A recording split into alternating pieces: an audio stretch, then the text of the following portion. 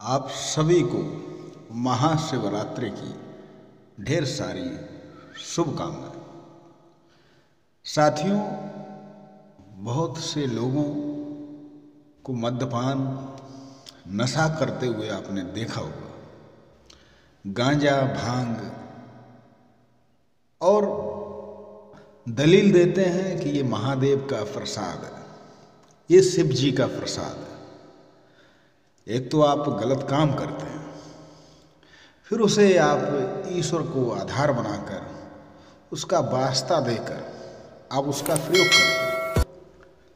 आप समाज में रहते हैं, आप समझदार व्यक्ति हैं, कुछ ऐसा बिल्कुल भी ना करें जिससे कि आपसे जो छोटे हैं, आपके छोटे भाई बहन हैं, वो आपसे कुछ गलत सीखें।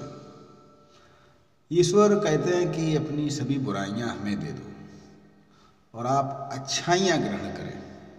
ईश्वर ये नहीं कहता कि आप बुराइयों को अपनाएँ, बुराइयाँ ग्रहण करें। तो इस शिवरात्रि पर हम सभी ये प्रण लें।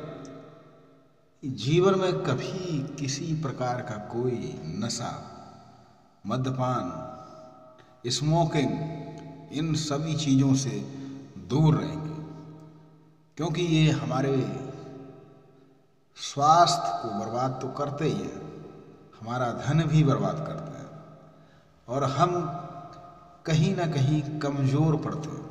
और जो लोग ऐसा करते भी हैं, उनसे दूरी बनाकर रखें। एक बार फिर से आप सभी को महाशिवरात्रि की ढेर सारी शुभकामनाएँ।